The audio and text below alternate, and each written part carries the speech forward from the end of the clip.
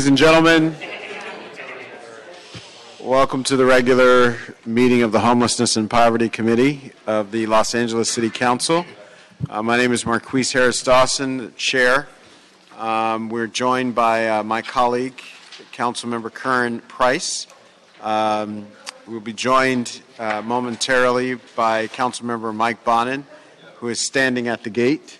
Uh, but while we're waiting for Mr. Bonin, we have uh, a number of speakers that have signed up for multiple items. In the Homelessness and Poverty Committee, if you sign up for multiple items, we give you a total of two minutes to speak on the items that you signed up for, and you can divide those uh, 120 seconds in any way that you see fit. Uh, the first multiple item uh, speaker is Mr. Red Chief Hunt Michael.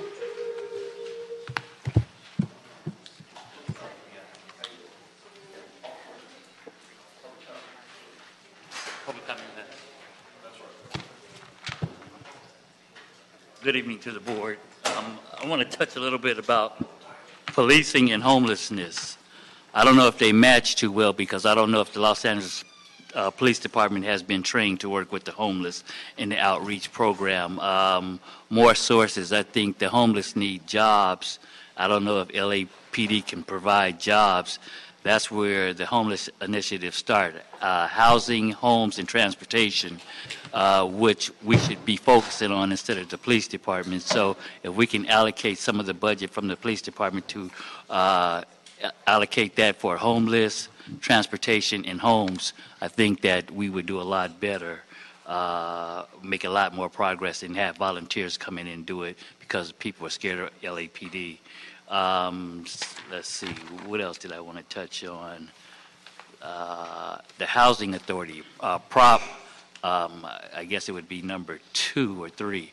But the Housing Authority, Mark Ridley Thomas and the County Board of Supervisors have $366 million coming down for homeless and, and housing for the people like that. A lot of them cannot live in housing and, and, and, and things like that because they can't live in four walls. My suggestion here is that we build a homeless park uh, for men and women, get the people out of Skid Row and things like that, give them their own community, put 10 showers on each side, give them peanut butter and jelly sandwiches, and stop taking them to jail and cut the budget down. That's the best ideal in the country. Uh, a lot of them can't live in four walls. So if you guys take my suggestions and get the homeless park going, where you have RVs and cars where they can park their homeless vehicles and they have 10 by 10 spaces, you guys will save a lot of money uh, economically and the county a lot of money. But the $366 million, the initiative is coming down, and uh, all organizations should take advantage of that, uh, people's districts. So utilize that money very well. Next 10 years. Yvonne Autry, Mr. Herman, Puppet. You guys can all come up to the desk.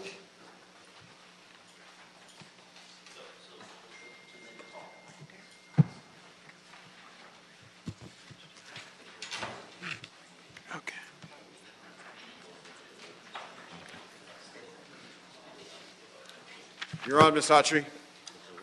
Please start the clock. Okay, yes, uh, thank you for an opportunity to speak. Again, it's most important that we have money not allocated for uh, the uh, development of lofts, condominiums, specifically Seventh and and Maple. We need affordable housing so that we can remove the homeless out of that swath of police brutality. In the rezoning process of downtown, especially uh, the row, so we know what your vision is, but we are the indigenous people. As with imperialism, you displace yeah, you displace and, and you um, dehumanize those that are the most economically challenged, whether it's women, veterans, men, people that are physically challenged. So again, we're speaking um, not only for the homeless that needs housing, and that is, you know, you have this bureaucracy excessively low and low, low, low. Housing that is affordable for poor people, okay, in plain English and also the hygienic standards that need to be maintained. The police have their horse droppings spreading the germs, so you're actually seeking to exterminate those people. That is the truth. We do not want to be used as test specimens, training purposes. We're not to be used as sex slaves or as food, right, or as uh, genetic experimental test specimens for the vampires, the cannibals, not to be used to, um, for the organ donors, for the Jews in Israel, because this is a human harvest of melanated people primarily on Skid Row, or anyone put in that category. We know you're feeding off of that. The homeless is an, homelessness is an industry. So we know maintenance of that status quo. I'm speaking against that. Again, also the uses of microchips and medication and also the electronic weapon to debilitate and dehumanize black women and other women and make us old and ugly, damaged and unattractive so the white and Hispanic women get all of the husbands and we're then used or subjugated as sex slaves on the side. Expose of this Thank you. maintenance of status quo. You will Mr. not return Herman? to slavery in this New World Order because this is hidden. And some Please be quiet. Thank you. Mr. Herman? For the record, in regards to the statement of interest of the United States, I request a preliminary injunction on the loss of community services and regarding homelessness and poverty. Why? Because people suffer a regressive consequence. And what is that regressive consequence? Well, it has to do with one basic issue portable public toilets and bathrooms. Why can't people have a place to have hygiene? You can't make peanut butter jelly sandwich. You can't stomp on some oranges and provide, as Michael Hunt, the Red Chief, said, you should provide the very basics. And Jose Huizar, the fat, bald gentleman who's in CD 14 regarding this item of bathrooms, has not provided any at all.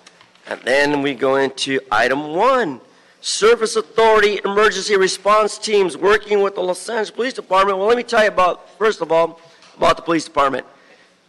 They are not social workers, nor are they part of mental health. And when it comes to the accessible housing program, it is usually the LAPD who remove you from your housing programs. It ensures people with disabilities have an equal opportunity to rent, enjoy where they rent, and use affordable rental housing. The same fucked up way you pulled me out of my house in 2008 under rent control. Thank you. 42 USC 1983. Fuck you. And then when it comes to road diets and housing and restrooms and streets, what better way to say it than to bring it to the attention of the world? Thank you for everything, Mr. Mike Bonin. Fuck, you, too. We have Craig R. and uh, Jer- Jed Harriot. That's right. So, they already start my clock. So, where is Jose Huizar? Nowhere. Because by Jose Huizar don't give a shit about the topic of homelessness because he's been homeless dumping his homeless constituencies into CD6 and CD1. How do I know that? Ask Meg Barclay. She knows about it. So, all of this shit, cops do not cure homeless conditions. Leadership, like the Anaheim City Council does. So, you fuckers, you don't give showers to these people for eight, nine, ten fucking years. I've been going to these meetings. Surprise, we have a hepatitis issue. Surprise, we don't have any showers. We don't have any housing vouchers. And you get all that money from these white, rich Jew taxpayers, and you spend the money on what? Developments for developers, not for homeless. You keep lying. The goddamn KNX radio woman is out in the hallway waiting to blow Mike Bonin, but he don't go that way. You see how it goes. This fucking city has no media. On uh, the There's no media. that are in this Right. committee. That's right. Police department and homeless and outreach and all. You know, the only outreach a cop can give somebody is to put those bracelets on them. That's it. Cops are, are for law enforcement. They're not for social gatherings. They're not for social justice. It's not going to work.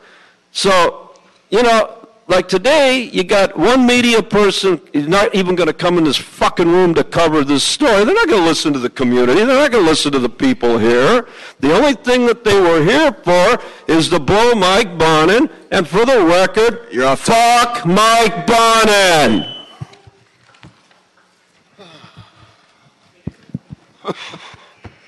ah, the entertainment. Um, in reference to uh, item one. I note the subtle change in language from uh, funding of LAHSA emergency response teams, quote, "in support of LAPD uh, HOPE teams," changed to "to work with LAPD uh, HOPE teams." This begs the question of exactly what is the purpose of and what is the effect of transferring HCIDLA funds to uh, ERT? Is it really to support LAPD's um, ongoing harassment of and criminalization of the houseless? That's what it appears to me. Viewed from the street level, the, you're, you're being approached by a large contingent of up to 10 police, LAPD officers, plus four sanitizers, plus two people who might actually be able to help you if they're properly motivated, um, if they've been properly trained in what to do, or if they're having a good day. Maybe. But in my opinion, it's just another way for LAPD to dip into the cash box. It's their usual effort to benefit themselves monetarily as if they don't already control all the money in this whole damn city. On item two, uh, I won't quote the uh, item, but say that my interpretation of it is, can, quote, "Can I get some help in understanding what my role is and what I ought to be doing that I'm not doing already?" We'll wait and see on that one. Item three, we Skid Row activists, as well as C3 and as I'm sure the UN, are uh, waiting for uh, you to, we're in favor of the toilets, but we're waiting for you to bring up the uh, level of uh, Skid Row hygiene services to at least that of a uh, UN long-term refugee camp. Thank you. Thank you.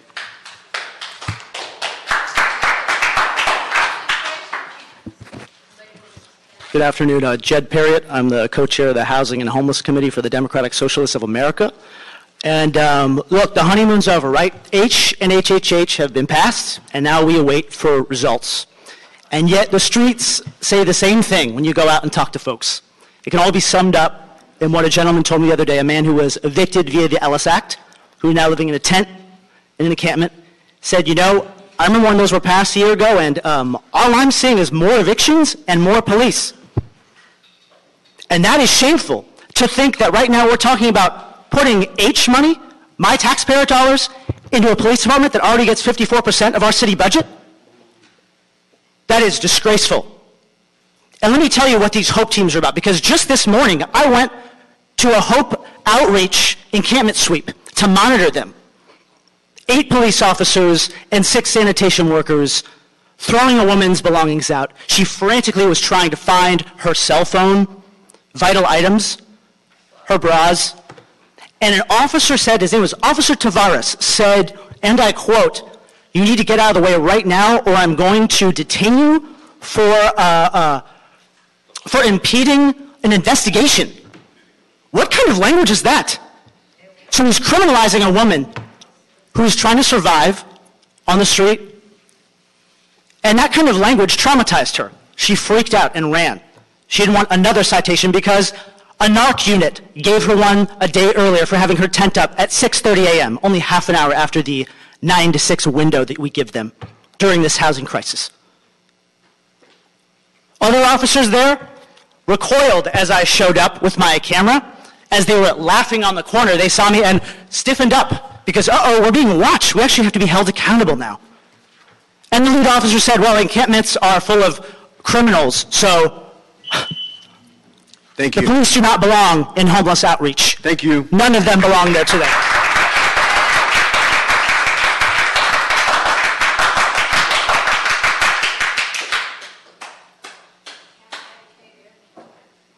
Please don't disrupt the meeting uh, anymore, Ms. Atri.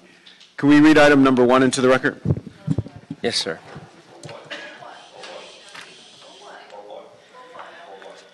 Item number one is a CEO report relative to funding recommendation for the Los Angeles Homeless Services Authority emergency response teams working with the Los Angeles Police Department's homeless outreach and proactive engagement teams. All right. Welcome. Uh, Good afternoon, Meg Barclay, City Homeless Coordinator in the Office of the CAO. Uh, The report before you provides recommendations in response to instruction from this committee to identify, report on funding needs and options to ensure continued um, Los Angeles Homeless Services Authority support for um, LAPD's HOPE teams. Uh, This report is in response to an amendment that was made in, in committee instructing, instructing our office to, to find these funds. Uh, The report provides a brief description of HOPE teams, um, and this funding in itself, overall, as you know, is in support of the uh, LAHSA's emergency response teams that support HOPE teams in addition to the LAPD and sanitation components. Um, Those, those outreach teams are intended to ensure to the greatest extent possible that HOPE teams' interactions with persons experiencing homelessness result in things that beyond enforcement. Uh, The uh, funding, the need for this funding came about as a result of um, the LAHSA's request for $1.5 million for these teams through the Los Angeles County Measure H revenue planning process. Um, At the end of that process, um, these, the use of these funds was changed from ERTs being dedicated to HOPE teams to being more broadly available to law enforcement countywide. Uh, We negotiated with the county to cover the costs of all of these teams for the first nine months of the year, or first, sorry, first three months of the year, and for five of the teams for the remaining nine months of the year. Um, So the funds recommended in this report in the amount of $509,031 are recommended for um, the remaining four teams for the balance of the year. The source of funds recommended is one point, or $1 million that was allocated in the city's general fund for um, general city homeless programs to fund street strategy programs, um, including storage, safe parking, and other council directives. Since this was a directive from council, we recommended the funds come from this source. Um, That's actually concludes my presentation. So we ask for your approval of the recommendations. Thank you so uh, much. I'm sure there's going to be discussion on this, but I wanted to uh, point out that Captain Dominic Choi is in the audience. If you could make yourself known. Uh, Joining us, um, becoming the uh, new commander for LAPD, the LAPD homelessness work, uh, comes out of Pacific Division uh, and Southwest before that. Uh, So we're very excited about that. Uh, Questions and comments, colleagues, before we go to general public comment? Mr. Price? Just one, I I certainly support this think uh, anything we can do to beef up the Hope teams is, uh, is where we want to go. I just want to make sure, though, that we're not, uh, you know, shortchanging uh, storage and safe parking uh, initiatives. I know this is we've had some uh, issues in rolling them out, but I think it's a, it's a valuable pot we should maintain, and I don't want to, uh, you know, discard these programs uh, in Yeah. exchange for this one. Yeah, at, at this time, the, about $490,000 remains in that line item for those purposes. We've been working on identifying a number of potential sites for storage and safe parking, haven't been successful yet. Um, that- So, and we figured until we had a need that ex- exceeded the amount of funding available, this source was available for this purpose. Um, at- We could undergo a similar process if we have a need to add to this line item um, once hopefully we're able to move forward with um, those other types of services.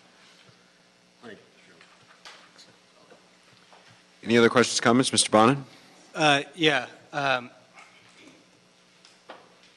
I- I think this is actually murkier and, and more nuanced than staff presents and that some of the public comment represented. Um, I, I- can see some merit to this. I think there are things that are great about the Hope teams. I think there are things that need to be improved about the Hope teams. Uh, But I can't support this today um, because uh, we made, when we come- came up with the homelessness, the comprehensive homelessness strategy, like a series of promises and commitments about how we were going to do things. And I remember vividly the, the chart that Miguel Santana had that showed up front, the first few years, lots of stuff being done for street services, declining and diminishing, while permanent supportive housing expenditures and, and provision went up. And I have a feeling, even though I put in an urgent motion nearly a month ago, that when we get to item three, um, where we don't have an action item yet. One of the things I'm going to hear is that it's going to be difficult to find resources for attendants for the bathrooms. And until we start doing more, I mean, we, we have not, we- we're we're providing sh- fewer shelter beds than we did when we started this. Um, uh, We uh, have added Lava Mae, which is great. We should be expanding that even more. Um, uh, Mr. Price has started um, uh, the storage. Uh, I've just secured, a couple weeks ago in council, uh, several hundred thousand dollars more for uh, safe parking uh, in Los Angeles.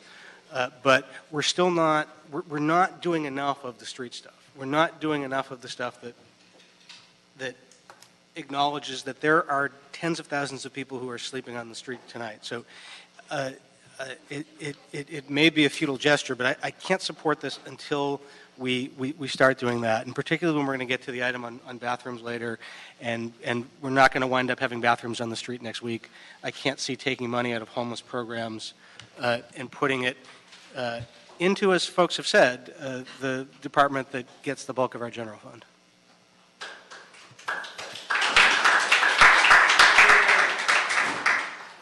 I, un- I understand your concern. We have been working very, very hard with a number of council offices trying to identify sites for those types. That's the most difficult thing, as you know, is siting these, the facilities for these kinds of services.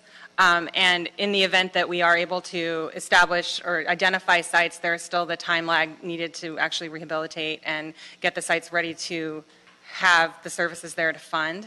So we felt that, given that, that timeframe, um, again, I, I think we would definitely undertake a similar process once we have, when we have the need for s- service needs that exceed what, what's left in this line item.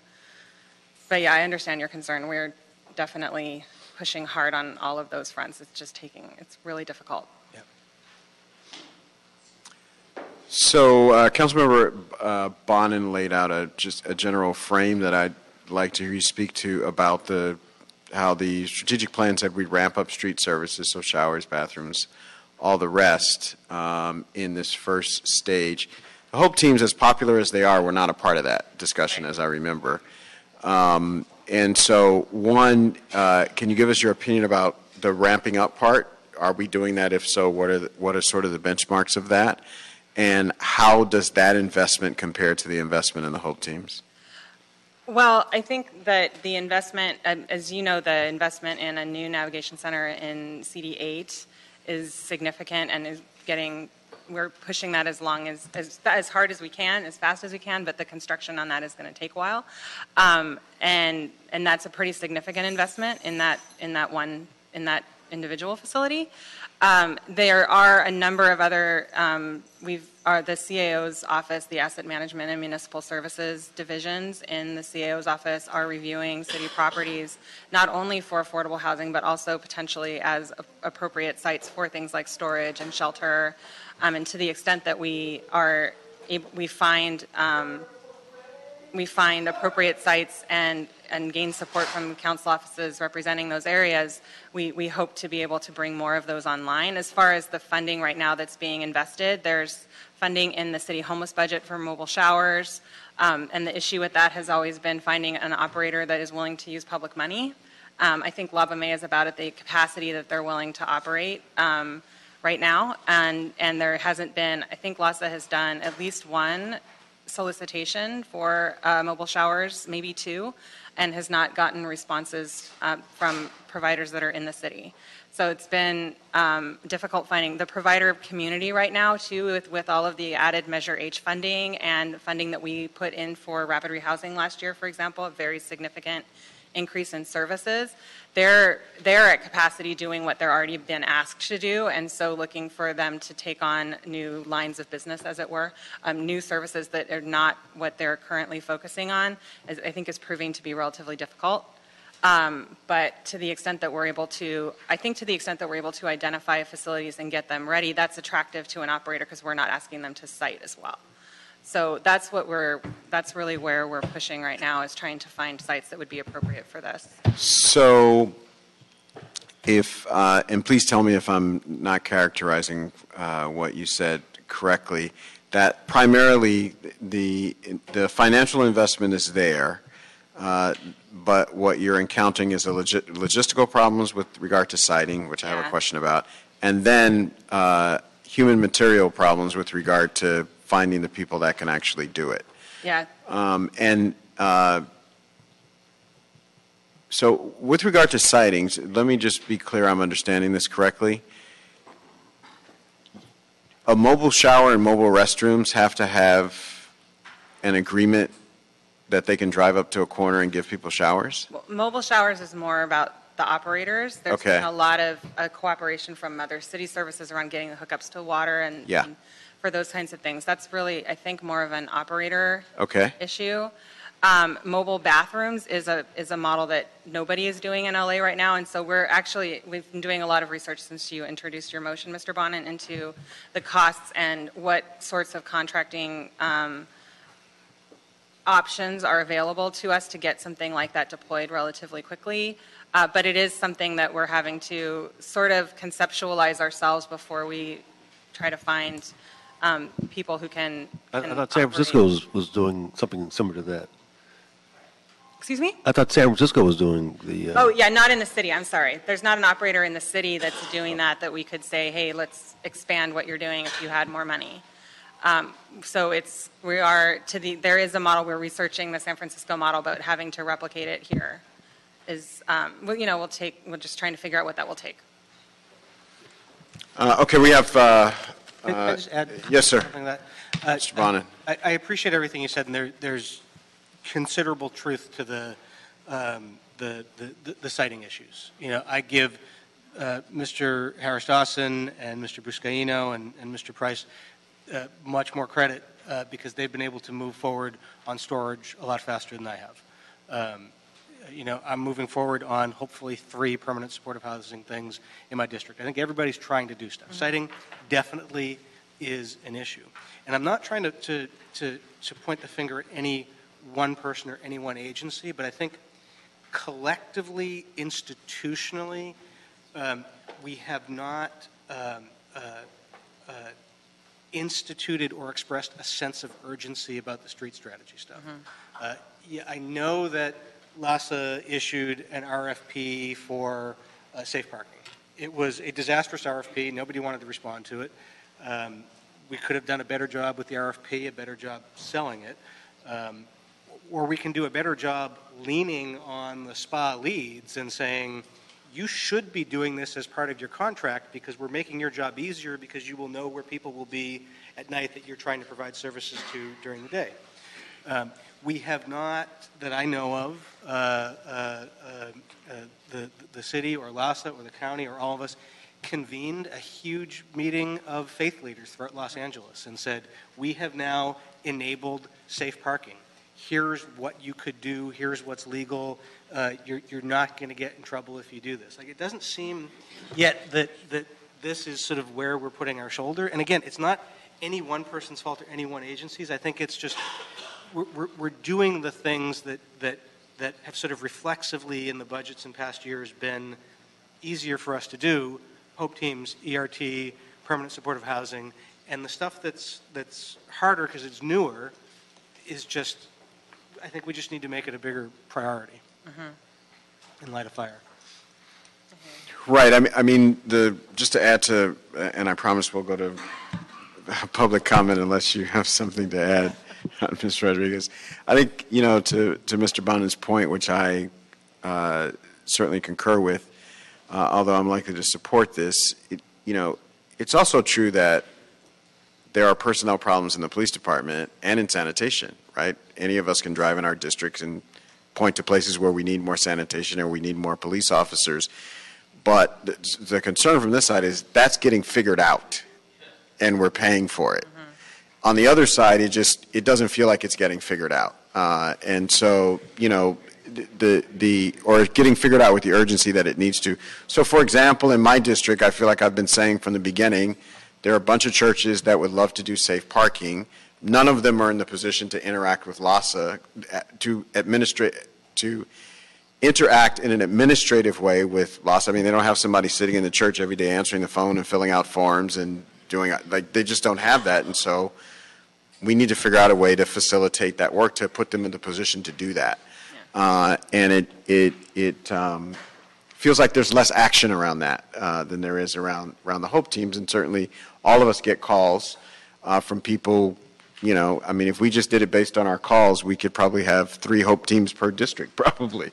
I mean, so we, so we get it uh, on the one hand, but, but in terms of being leadership, uh, we've laid out a plan, we want to follow the plan, and we want to, we don't want to wait for calls, we want to be out front of the, the issue. So um, I'm going to stop and do public comment. Actually, I will, Mr. Rodriguez. Ju- Just to, to really support everything that you just finished saying, because again, in my district, one of the biggest challenges that we have is, you know, we have some of the shelters, but if, and that are operating out of these, uh, out of these churches in contract. Um, But if we do it wrong, we won't allow ourselves the capacity to continue to do the work that we need, and this is the work that we need. And so while I completely support, you know, the HOPE teams and what they're doing in the intervention side, there is that longer-term kind of effort that needs to be happen, happening concurrently, and there just has to be a greater sense of urgency applied to that as well, uh, for all the reasons that you just, you know, stated. So I just, just to acknowledge that as well, it is definitely a high priority uh, for me and my district uh, as it relates to some of the services that are being provided right now. Yeah, let, let, let me chime in because uh, in my district, uh, Mr. Bynum, a little correction, we don't really have storage, but we are doing the showers and we're doing the safe parking. And, and we need to be doing more of that. Uh, and, and I think sometimes we're challenged by not doing, we're not getting responses because we're not doing the right kind of outreach. And so I agree. I think we should be really targeting that in a, in a much more creative way, in addition to the other things we're doing. But we can't forget the stuff on the ground. So. Thank you. All right, uh, we have uh, Mr. Eddie H., John Motter, General Dog- uh, Dojan. Dogon. Did you get my card? I have more cards. I'll read through them, but I don't think I have yours. I submitted a card. Can you to me? Yes, sir. Uh, Eddie H., Skid Row Community Improvement Coalition. And just a second, set the record straight quickly. I heard someone say, talk about Lava Mae. Myself and there's a couple other individuals here from LA CAN who were instrumental in bringing Lava Mae to the city in unison with uh, the mayor's office. So that was a community-based solution within itself. Uh, I just first want to talk about uh, a site. Uh, our coalition, we have a site. We have a hygiene center that'll be up and running within the next couple weeks with portable showers, portable restrooms, kiosks, and things of that nature. I just want to say that, and I heard Mr. Bonin talk about the LAPD. For the last several years, they get over 50% of the budget, and that's billions and billions of dollars. Uh, they need not be in the, the field of uh, trying to place people uh, who are homeless into housing. That can be better utilized, those funds be better utilized. And maybe progressively in a community-based solution. I'd say this very quickly.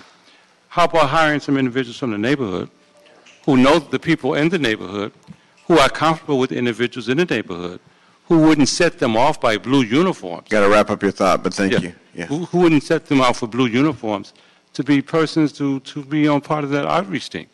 You know, let's, let's think about progressing beyond the norm. Uh, and again, our site will be up and running. Thank you. Uh, pretty soon.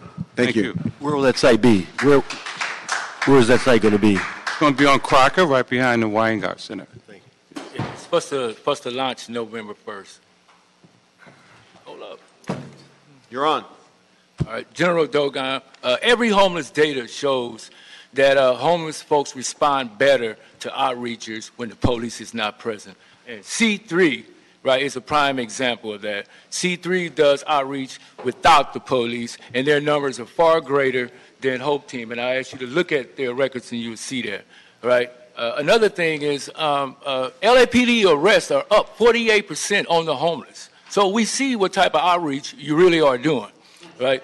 And, and with the cost of 40 cops, you know, uh, 40 cops, you put more money in into outreach than you get out in service. What are you supposed to be asking these homeless people uh, when you go talk to them? What are you What are you trying to do? I mean, you, you can't give them what they want because what they want is house keys. and you can't give them that. But if you kick those 40 cops to the side, you can house those 40 people today. You know what I mean? With the salary you're gonna pay those cops, right? If not, you only your your your hope program is turning into false hope because you can't deliver. Understand me? What people need. Give us hygiene centers right now, what we just talked about. Give us trash cans. That's what we need post Triple H, not more police. That's right. My name's John Motter. I'm a homeless rights advocate with Ground Game LA. I'm also a member of About Face, Iraq and Afghanistan Veterans Against the War, where we continue to fight against the militarization of our communities at home. And I don't want to see another dime earmarked for homelessness and f- solving homelessness and providing services for our homeless members of our community going to the police. And I'll tell you what, I canvassed on behalf of Measure H. I knocked on close to a thousand doors, talked to hundreds of people across Los Angeles, as did my fellow volunteers.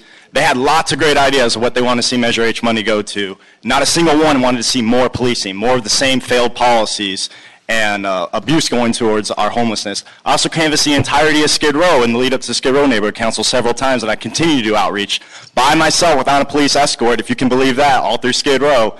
And they had lots of great ideas too, what they would have liked to see that money go towards, which of course they didn't get. And not a single one of those members of our community who do get a voice in this government and the decisions being made, not a single one of them want to see more policing. That's all I have to say. David Bush, Megan Choi, Jessica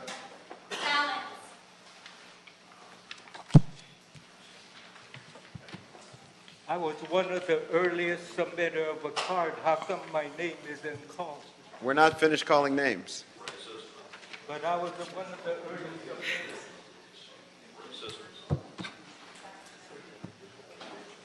Um, David Bush, uh, homeless resident in Venice, been homeless for 20 years.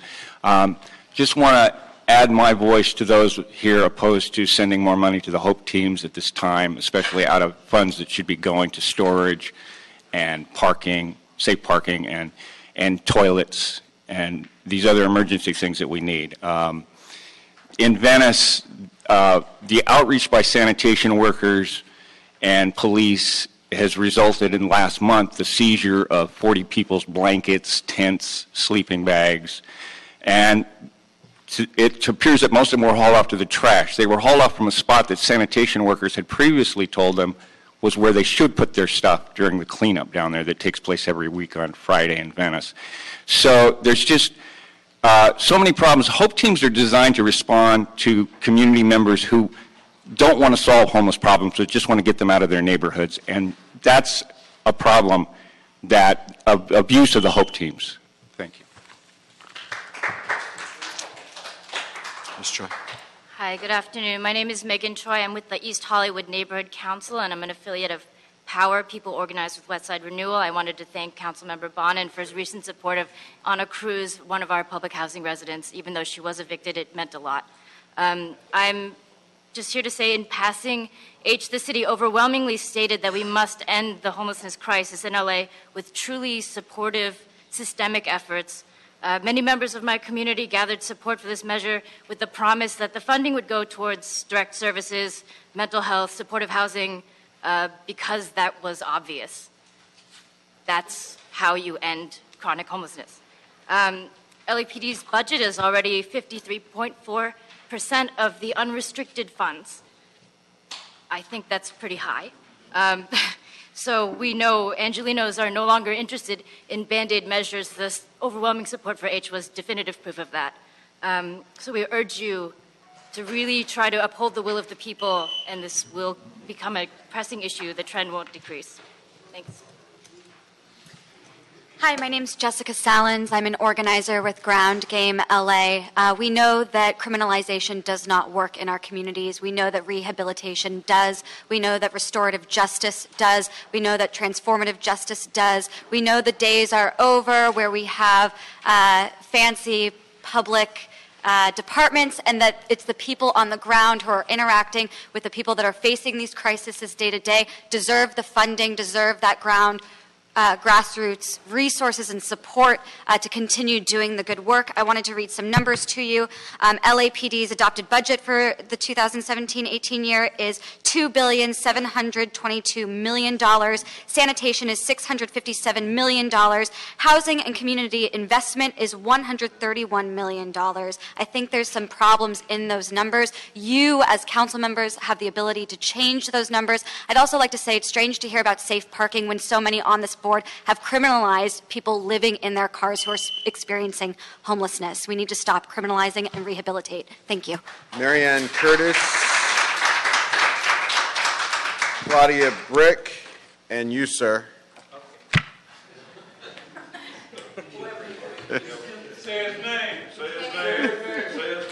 Please stop disrupting the meeting.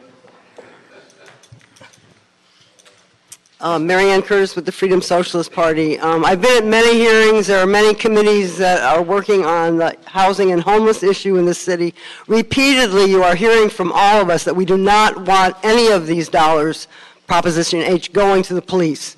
And ple- I mean, just let's, this is craziness. It just keeps coming back in these things that you can hardly make sense of that we got for this hearing. So um, the other thing is the city controller has repeatedly said there is plenty of city property available that right now you could put up whatever tiny houses there could be habitat for humanity could put something up you could provide the showers the laundry this is an emergency i think you really need to see this as an emergency think of it as a what a hurricane uh, an earthquake and do something all we're seeing are more and more people in the streets without, and this cannot continue. It's not only a housing and homeless crisis, it's a health crisis.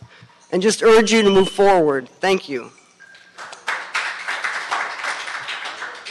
My name is Claudia Brick. I'm a resident of Mr. Harris Dawson's district and a social justice activist here in LA. You people should be ashamed of yourselves for even considering taking H and HHH money to give back to the police department, who all they do is roust people and throw away their stuff. That you, they have enough money in their budget to do that already.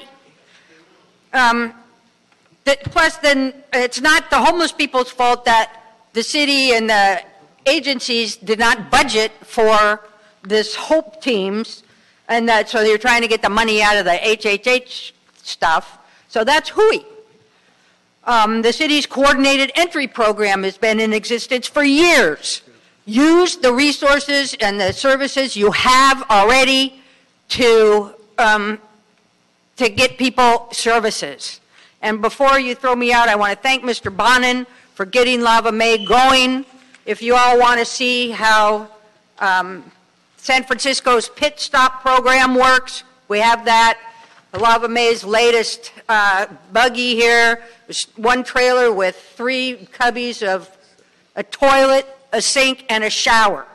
If you want, these are cost $50,000 a piece. If you have $500,000 out of HHH money that you want to spend, buy 10 of those and get this thing going.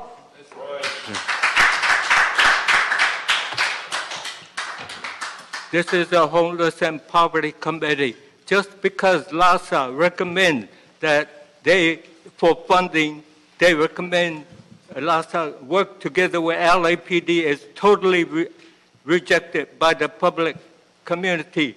If you want to provide service and housing for the homeless, do not work with the LAPD. They are not a social service entity. They are an authoritarian, militarized force. They, they need social workers, not police department that comes with weapons. That's no way to treat homeless people and provide housing for them. We don't have enough time. We need two, two hours. LAPD is not social workers. Uh, so keep, keep, whatever you could do, keep the funding away from them because the people that voted for HHH and Measure uh, 8, service for the homeless, did not. They, they Thank you so much. LAPD to take a lot of the funds and suck all the government money off of social services. Uh, Meg Barclay, City Homeless Coordinator again. I just wanted to clarify for the record that this funding is not going to LAPD. There is no money in the city homeless budget for LAPD. This is going for Los Angeles Homeless Services Authority emergency response teams, outreach workers that work with the HOPE teams. And also, there is no Measure H or. Hold on, hold on, hold on, hold on, hold on, hold on. People didn't talk while you all were talking. She didn't jump up and say you didn't know what you were talking about when you said the money was going to LAPD, so let's respect the people that are at the mic.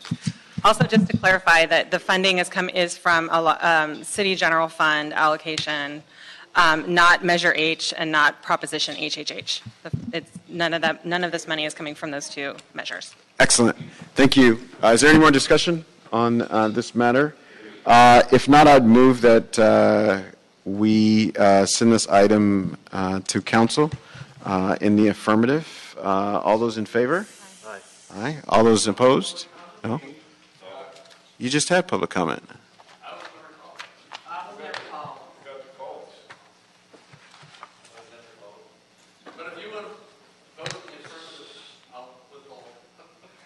Great, that's what we just did. All right, uh, can you read item number two into the record? Yes, sir. Item number two is a CAO report, or a CAO2 report relative to motion by Council Members Harris, Dawson, and Huizar related to a memorandum of understanding with the County of Los Angeles and the Housing Authority of the City of Los Angeles to establish roles and align resources needed to develop permanent supportive housing. All right, you're on, one more time.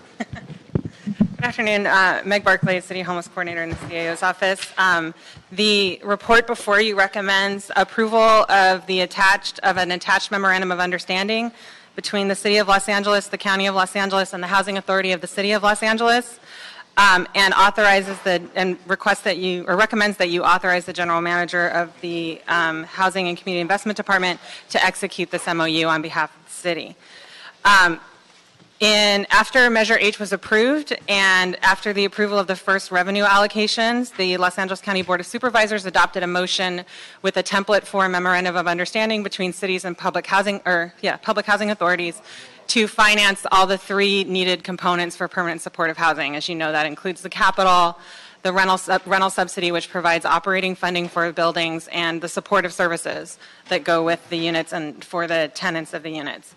Um, so the attached MOU will guarantee that for every unit of permanent supportive housing that the city funds, which is what Proposition HHH is funding, the um, county will commit the supportive services and funding for the supportive services, and HACLA will commit um, project-based Section 8 vouchers to um, provide the operating subsidy for those units.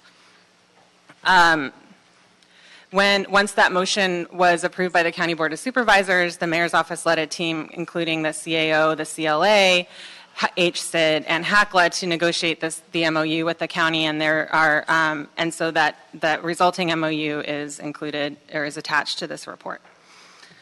The um, MOU represents a major financial commitment by all, by all three of the parties, obviously Proposition HHH, and then the first funding round, um, Proposition HHH provided up to $220,000 of subsidy per unit, um, per unit funded, and the county's commitment will amount to an average of at least $450 per unit in the intensive case management services, in addition to other health, mental health, or substance abuse treatment services, depending on the population being served in the building. HACLA's project-based vouchers provide an average monthly rental subsidy of about $878 per PSH unit. And the tenant selection under this MOU will be made through the coordinated entry system, although 20% of the units can be um, filled through the county Department of Health Services client tracking system as well, but this is intended to make sure that the clients with the greatest needs are prioritized for these PSH units. So um, once the once the council and the mayor provide the authority, HCID will execute this um, agreement with HACLA and the county on behalf of the city. It will go into effect on the day it is signed, and the term of the agreement is 10 years. After five years, however, given um, sort- the long-term questions about or how many vouchers may be available, um, HACLA, we would renegotiate the um, number of units HACLA is able to make available for, um, or PBVs. And, um, oh, this, the, the MOU addresses the strategy 10A in the city's comprehensive homeless strategy. Excellent. Questions, comments, colleagues? I I just want to thank, uh, I want to thank Mr., well, I want to thank staff for getting this done, obviously, because it's, the the fine print was a pain in the butt, but I really want to thank Mr. Harris Dawson and Mr. Ridley Thomas, who I think without the two of you, this, this promise that was made to the voters about the level of cooperation between the two levels of government wouldn't have, have finally happened, so thank you for that. You. Mr. Chair? Yeah, thank you. Um, So I just had a question with regards to the county the county coordination with some of the, you know, joint projects that are happening with nonprofit uh, providers on the permanent supportive housing projects, Mhm. and how the county is going to interact with some of the private uh, partnership developments that are happening for, to create, construct permanent supportive housing, and to what our assurances are to try and provide uh, on-site services. Oh, yeah, so the county is agreeing to fund the services, but each of the, of the unit, or the projects that are funded, and um, Rushmore Servan is the general manager of how HCID can speak to this as well, but they have a service plan that comes with the proposal for funding for each of those units that would um, have to be deemed appropriate for the population that's being served, but as far as, well, Rush, I can speak to that qu- real quickly, and thank you very much for the question. And I do uh, also agree this is historic. We obviously had the passage of H as well as HHH, but then to codify the agreement between the county and the city to provide this, this level of service and funding is, is really uh, tremendous and obviously reflects leadership of the council, the mayor, and uh, obviously the county board of supervisors. But to your question specifically on on-site, that's our preference. We have a mandatory ratio of one full-time equivalent case manager for no more than 20 uh, so chronic supportive housing units. Most of our projects are over 20 units, so you always have something on site. Now, there could be a one-off occasion where you have scattered sites. In that case, they have to be within a quarter mile. And keep in mind, that's the case manager. That's basically uh, someone that is working with each of the uh, homeless individual or families. Uh, they're coordinating the services. Not necessarily all the services are going to be on site, but you have a case manager on site, and we requ- we have a required ratio. And then with each service plan, we actually we mandate that the developer tell us who they're going to be working with, which county departments, and they, that county department also has to codify that plan as well. So there is uh, a, uh, a method by which, when we work with the developers, we know in advance before we final, finalize the financing.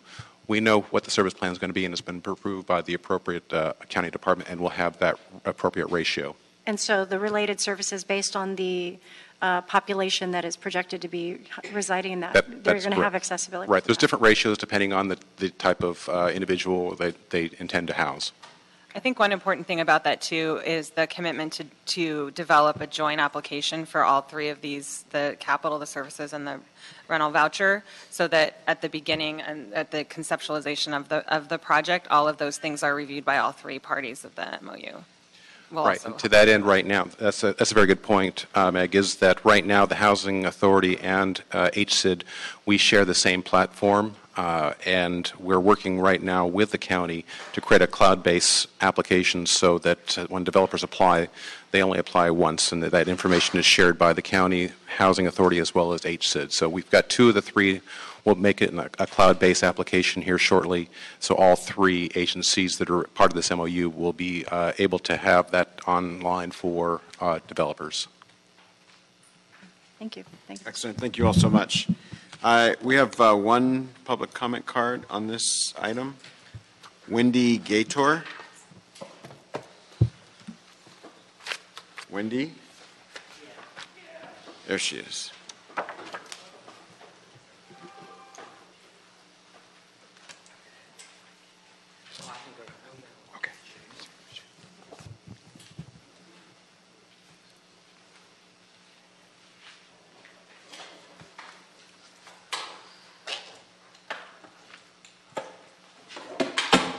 Hello, my name is Wendy Gator, and I am a graduate of Skid Row. In 2013, I graduated from the Weingart Center through the Open Door program.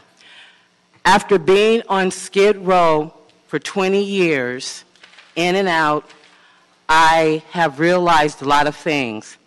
But as one of our volunteers in our organization has summed it up very well, when you are trying to solve homelessness, you must include the homeless in the discussion. They know what they need and have proven solutions. But for whatever reason, politicians tend to delegate authority to marginally qualified people. A college degree or success in business means nothing unless you truly understand, and truly understand you must be homeless. With all the concerns that have been addressed in the past and today, we have to have a basic module because there is no one answer to or one solution to these many problems. And when you try to solve a problem, you have to look at the way we do algebra, and that is you must take things in order. You have to have a logical way of solving the problem, so you have to have a basic module for it all. And in algebra, you must do what's in the brackets and parentheses first before you can arrive to the correct answer. And in doing that, You gotta- we You got to wrap up. You're- Okay, up. we have boards and so forth, and those brackets, which is first, when you have a zero participation and you have zero homeless and zero people of poverty on the homeless and poverty board, you therefore cannot come up with the right solution and the right answers. We people on Skid Row and in these organizations, we will have to train the police and train the people on these boards to do an effective job because we have the degrees to do so Thank and we have the experience. Thank you. Let's use it.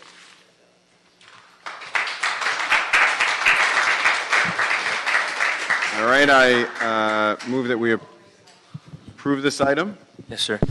Uh, Mr. Chair, just for the record, um, it's the intent of the uh, committee to approve the attached MOU submitted by the CAO between the City of Los Angeles and the County of Los Angeles and HACLA, and authorize the general manager of each city to execute the MOU on behalf of the city. Excellent, thank you. It'll, it'll uh, be a historic day when we get this onto the desk of the mayor. Uh, so thank you to everybody who's worked very hard on it. Thank you uh, to the team at the CAO and the folks at the county. Uh, where does that leave us? Item number three?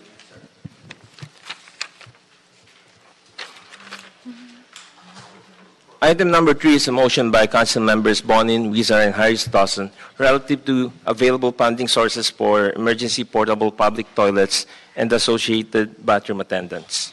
Excellent. So we have a number of uh, public comment cards. Mr. Bonin, this is quite the popular item. Um, we have uh, Tom Grody, David Bush,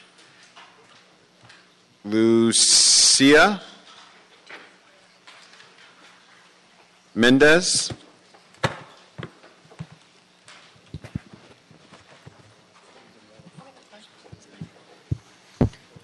Tom?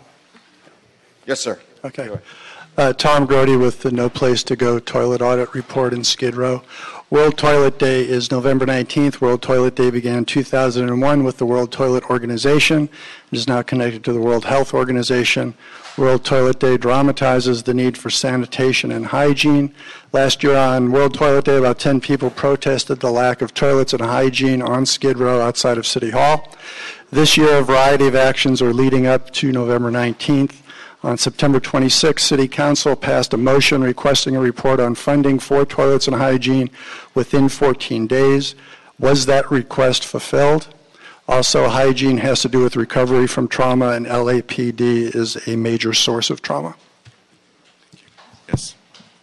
Hi, My name is Lucia Mendez, and I'm just here to support and ask you guys to please uh, to approve the funding for pub- public bathrooms. Thank you. Thank you. Yes. Hi, um, David Bush. Um, as I mentioned earlier, I'm a homeless person in Venice. Very glad to be here today. And may you please pass this. I've been homeless for 20 years, on the street in Venice for 10 years. We don't have a single public toilet open anywhere in Venice uh, from 10 o'clock at night to 7 o'clock in the morning. And, you know, Councilman Bonin and I have disagreed on some issues, but I am proud to come here today and stand up for this, and I'm really thankful that Mike is, and every one of you, I hope you support it. We need to get public restrooms open, and these public restrooms in the beach are a beautiful pro- project. Uh, we are going to have what I think is really important going forward is to demonstrate that we also need to have attendance. We've had a history in LA, and I've been on Skid Row for six years myself.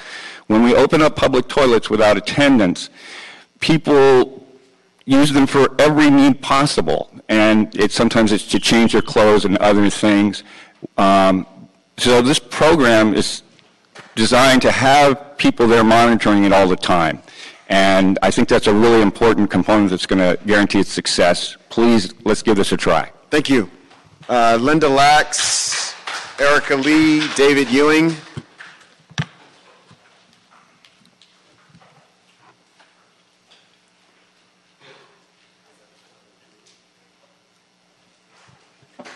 Good afternoon, council members, and welcome to the new councilwoman. Pleasure to see another woman on the council. My name is Linda Lucks. I am the past president of the Venice Neighborhood Council and the Board of Neighborhood Commissioners. I currently work for Venice Community Housing, and it's I'm really happy to be here to speak in support of opening the bathrooms. I'm sad to say that it's because of a public health epidemic. It's just amazing that this hasn't happened before. Uh, but if this is what it takes, you really can't have it both ways. You can't keep the toilets closed and not expect something terrible to happen. And I know there's been feedback from the community um, complaining about all the defecation and urine on the streets, but you can't have it both ways. You've got to have bathrooms open. Anyway, I'm really glad to be here. I hope you support this. I hope the full council does. It's long overdue, and um, it's time for the right political will to make this happen. Thank you. Thank you. Uh, my name is Erica Lee. I'm a Venice resident and also happen to work at Venice Community Housing. I am here in support of opening restrooms with attendance. Um, we've actually created a committee of Venice Community Housing, Venice Family Clinic, the St. Joseph Center, and local community members. Um, we've been doing our due diligence, working, um, talking to Pit Stop, uh, Hunter's Family Point, which is the organization running them. We are actually trying to get our own pilot program down in CD11, so we are ready to get going. Um, we've had we created a budget to get bathrooms. Um, we're ready to go. We just need funding, and we'll work with you. Uh, we worked with Lava Mae, so we need restrooms. We understand the need. It's a public health issue. It's a human rights issue. It's a women's rights issue. So let's get going. Thank you. Good afternoon, uh, committee members. My name is David Ewing. I'm a 40-year Venice resident, longtime homeowner. Um, I just want to say, if a hepatitis A epidemic or outbreak doesn't focus everybody, what will? Uh, you know, what, what will create the political will? So um, the motion you have before you, I think, expresses uh, better than I would um, the need and describes the pit stop program, which we have all um, you know, we, we've been talking to people in San Francisco, Sacramento, and other cities uh, with similar programs. The knowledge is out there. It's not a question of methodology. You know, the answers are there, best practices are there. It's a question of political will. So I would say, I would argue with two things in the, uh, uh, the just the phrasing here in the motion uh, that the two challenges are funding and proper locations. I would say it's political will and neighborhood pushback, and you have to figure out how to develop one and uh, assuage the other. Thank you. Thank you. Uh, Mr. Victor N. from Beethoven Street. I don't want to mess up. Uh, Aquila Flemings, Eric Ares,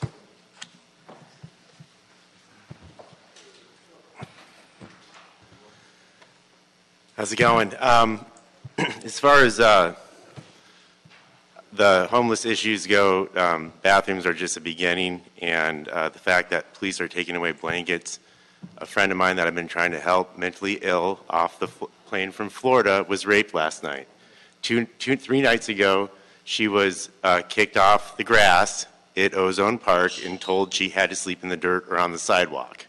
Now, this is a a susceptible, mentally ill, bipolar person, like many people that are homeless are bipolar or mentally ill, and they should not be, they need kindness and they need social workers and not police managing them. Thank you. Thank you. Okay, go. Hi, my name is Aquila Flemings, and I also work with uh, Venice Community Housing. And um, I'm just even shocked that this is even up for discussion. I don't know what people expect. They expect people just to go in the sand and poop like a cat and cover it up.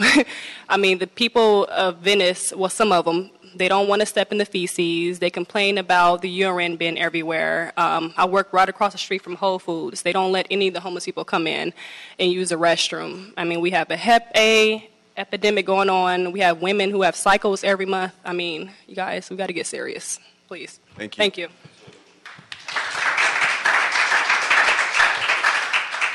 Good afternoon. My name is Eric Ares. I'm with the Los Angeles Community Action Network. LA CAN is here to, I and LA CAN are here to um, speak in support of this measure. Um, this is something that we strongly urge you to move forward with as soon as possible.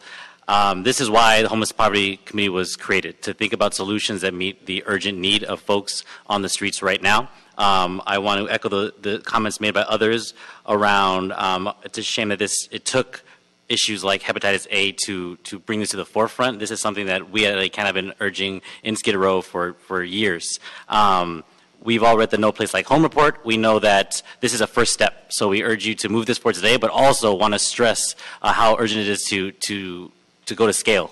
And not just in Venice, not just in Skid Row, but citywide, this is an issue. This is a public health crisis, um, and we need to meet it uh, for what it is. So as H and Triple H um, plans move forward, these are the types of solutions that are necessary to bridge what is the crisis now with the solutions that are going to take years. So again, really strongly urge you all to move this forward today. Karen Lauterbach, Victor De La Cruz, Robert Newman.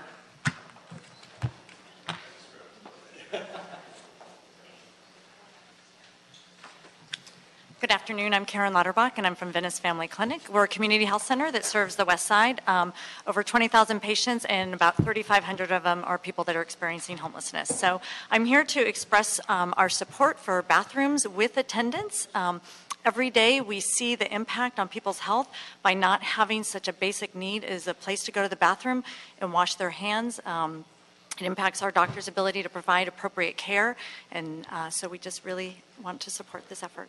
Thank you. Good afternoon, uh, committee. My name is Robert Newman. I'm Vice President of Administration for the Downtown Los Angeles Neighborhood Council and Chair of a Central Cities Ad Hoc Committee. And I just want to say that, the, first of all, I want to thank the community for uh, coming to us and making a presentation. Uh, many of the, the, members have worked on this No Place to Go report for a very, very long time, and they are in ground zero and they know really what's going on. So it's important to, to listen what they have to say. Uh, for example, like Louise Mabella Frenchie, uh, who presented our committee, we really appreciate it. We submitted a community impact statement, which you'll hear more about from my co-chair, Nate Johnson, and uh, we, it's long overdue uh, to, to get these people uh, bathrooms and showers and things that they need. I've been involved in the building of several uh, permanent supportive housing projects over the last 12 years, and so it's very easy to hand somebody, it's very nice to hand somebody keys, and of course they have a bathroom and a shower. But in the interim, while we're, I'll have all this funding in the queue, and, and the people need to have a dignified way also to be able to use those facilities as human beings. So thank, thank you. you for your support. Thank you. Good afternoon, council members. I'm Victor Dela Cruz with Manatt Phelps and Phillips. I represent Public Storage Incorporated. We have over 100 locations in Los Angeles County, and a lot of those locations have been the sites of major uh, homeless encampments. So we deal with uh, community concerns pretty much on a daily basis. We want to say that we are in very strong support of, uh, of this initiative. Uh, we hope that you implement it as soon as possible, and we'd like to thank Councilman Bonin for his initiative on this. We do urge some caution in connection with siting, just because we hear from our neighbors and we want to be responsive to their concerns. We would urge you to take a look at San Francisco's Pit Stop program and their siting of these locations. They do them in city parking lots, in parks, and on major arterials. You please do not do them on minor connector streets where it uh, will most dramatically impact residents residents, and that's something that we'd like to be able to do in connection with our uh, residential neighbors. Thank you. Nate Johnson and uh, Greg Spiegel.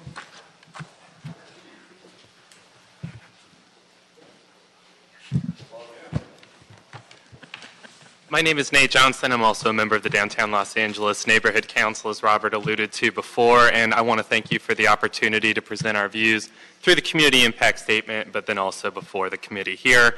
Uh, this is the first deliverable, I guess, we've put together from our ad hoc committee, and we're hoping to work with this committee in the future to address the many issues facing Skid Row. Um, and, you know, at both our first and second meeting, one of the major issues and the main thing people talked about was sanitation, hygiene centers, and having an opportunity to have public toilets at all hours of the day. We're all familiar with the reports, but I think the reports, such as No Place to Go and Dirty Divide from LA CAN a few years ago, demonstrate how this is also an opportunity to work with the Skid Row community. People talk a lot about attendance. One of the few, one of the important points from the Pit Stop program is that attendance should come from the community, uh, which I think will help build relationships some. In contrast to giving citations to Lava Mae providers, which is something we've heard about happened at the end of August. I don't know if there's a way to kind of exempt those sorts of providers as they're working in critical areas. Thank you. Thank you. Hi, I'm Greg Spiegel from Inner City Law Center. I was one of like 20 or so people who worked on the No Place to Go report, and I made a bunch of copies. In case you all don't have them. Um, uh, I was surprised to hear um, that funding wouldn't be a problem for these facilities. Um, that is not what we are hearing. Um, the Skid Row Hygiene Center that's being designed is, is, really promising. The design is great, but we're talking four to six toilets.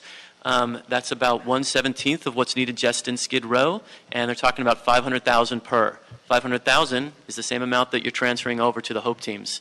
So is, is a zero sum game right now unless you guys are talking about bringing some money from somewhere. So every money that, all the money that goes away from street strategies is going away from toilets, and where else is it going to come from? And again, we need 17 times the amount that is currently being considered for the Skid Row Hygiene Center. Um, in terms of locations, those are real barriers. We want to help. How can we all come together to help you? And fourth, in locations, um, considering opening up city buildings to 24-hour toilet access. It's happened before, apparently. Um, it could happen again. Okay. My, my, my name is Kay Utumi. As the Homeless and Poverty Committee, you can and you should recommend to the full city council that the Los Angeles Homeless Service Agency quit working with the LAPD for funding homeless housing and services. The more funding LAPD takes, the less there is for actual housing and services for the homeless. Homelessness is a crisis that needs actual, real solution and, and uh, services for the homeless and not criminalizing homeless people. Skid Row homeless have been criminalized for a long time, and uh, that needs to stop right now. Yeah.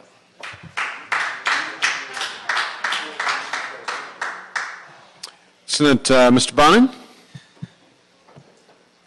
Uh, thank you, Mr. Chairman. Um, thanks everybody who came down and, and, and, testified on this.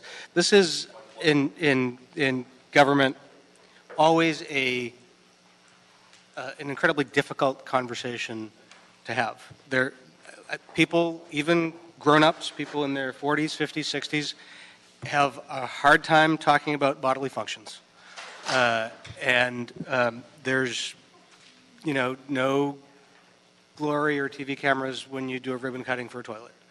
Um, but this is an absolute, it's a, it's, th- this is a law of nature, law of supply and demand. Uh, there is an absolute demand for people to urinate and defecate, and there is a tremendous lack of supply of places to do that.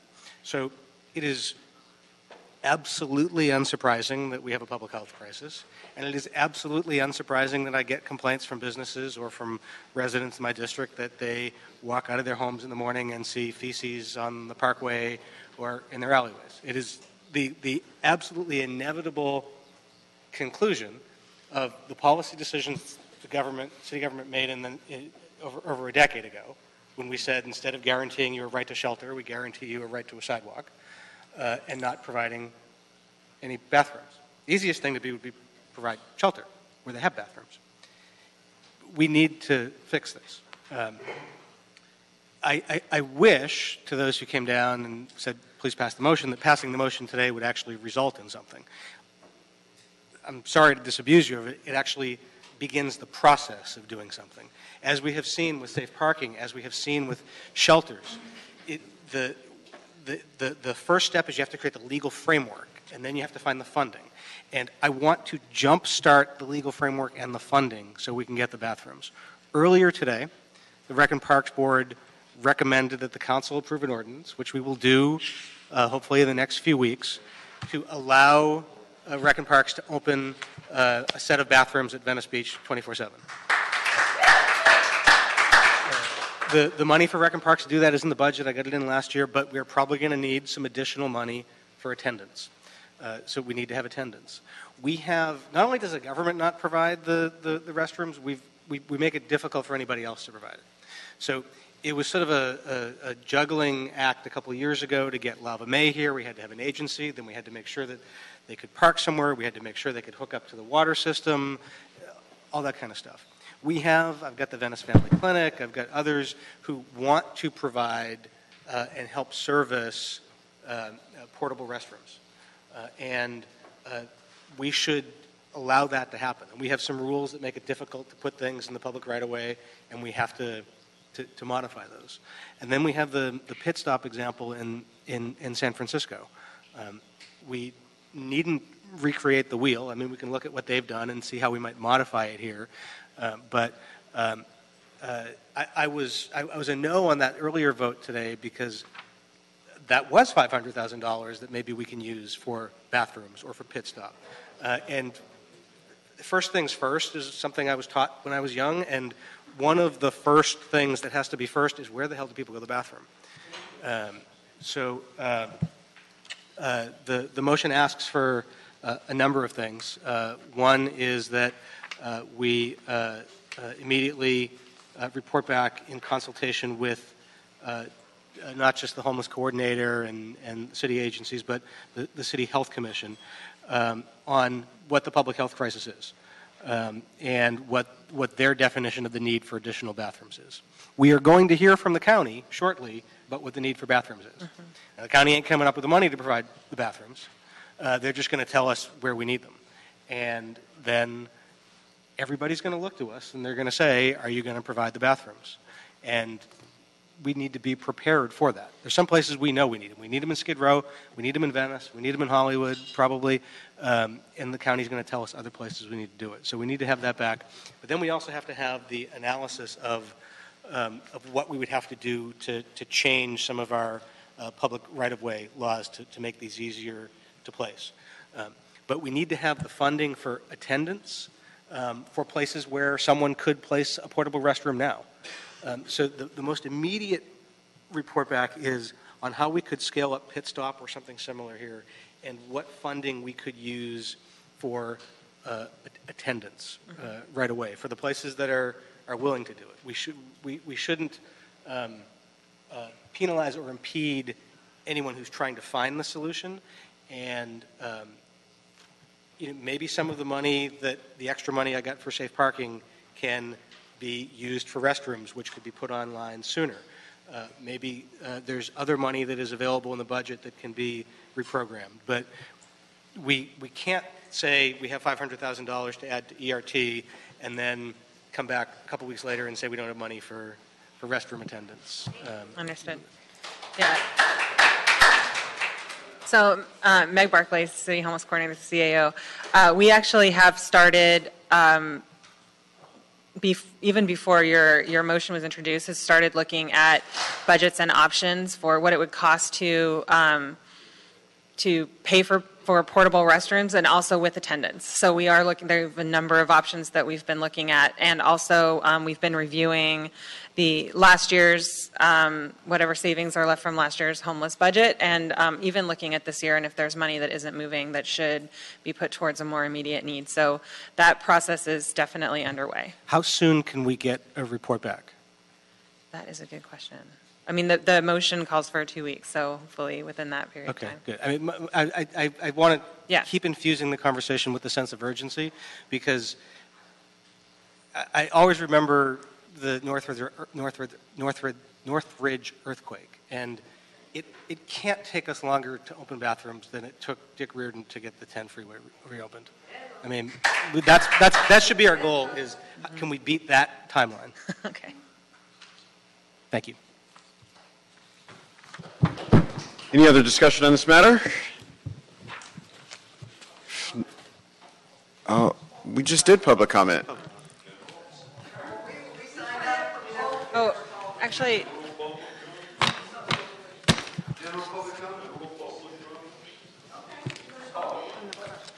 Come on up. This is on this item.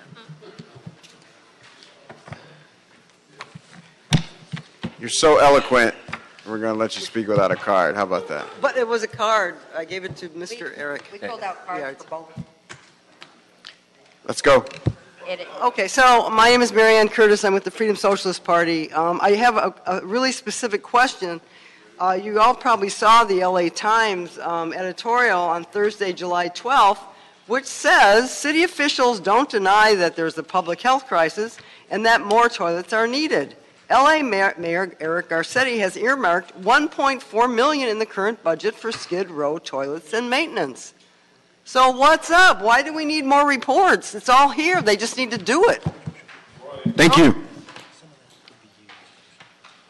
To echo a lot of what's already been said, I- I've been going to meetings regarding homelessness and problems for years, and at every meeting that addresses the issue of homelessness, somebody raises the issue of it being a health crisis.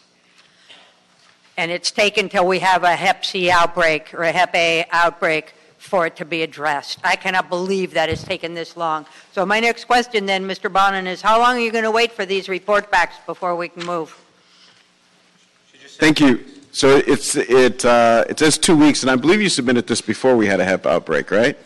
No. You didn't? Oh. Wow. one thing I did forget to mention also, that the mayor's office has also been working on, with LAHSA on opening an- a hygiene station that is supposed to open relatively soon as well. Excellent. Thank you so much, and thank you to everybody who came in to participate in uh, this matter. There, I will note, um, as recently as this month, uh, officials from this city uh, put out reports suggesting that if you make life ha- harder for homeless, they'll go away, uh, and that their problems will go away. And what we've seen in the in the since that time with the Hep, Hep C outbreak is that, in fact, we make it harder for all of us uh, when we don't address the real basic need of human beings going to the bathroom, which they don't stop doing, even if you don't provide bathrooms for them. Uh, so I uh, ask for enthusiastic approval of this matter. Uh, hearing no objection, that'll be the order. I believe we're adjourned, sir. Yes, sir. Thank you.